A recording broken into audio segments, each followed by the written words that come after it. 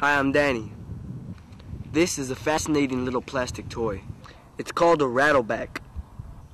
It teaches about how things are balanced.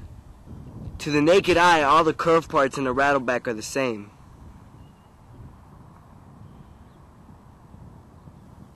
In reality, there is a tiny difference in the way the parts are balanced. The result is the rattleback spins easily in one direction, however refuses to spin in the opposite direction. All because of these tiny differences in the rattleback's center of gravity, or center of balance. This is a demonstration of how important it is to balance moving parts of machines. For example, take the tires of a car. A tiny difference in the balance of the tires can cause the tires to quickly wear out. This is the easy direction. See how easy it spins? So it, Okay.